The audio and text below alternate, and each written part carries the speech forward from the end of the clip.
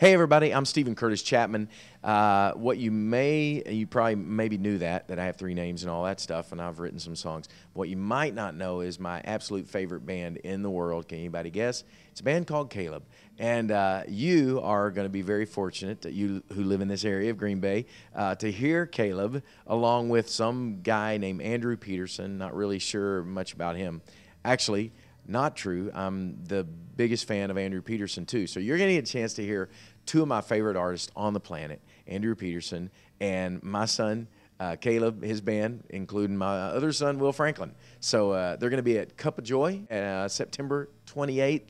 So you mustn't miss it. I think they got two shows, in fact, because there are going to be so many people. You're not going to get it all in one. So uh, be sure and catch Caleb and Andrew Peterson on September 28th. God bless you.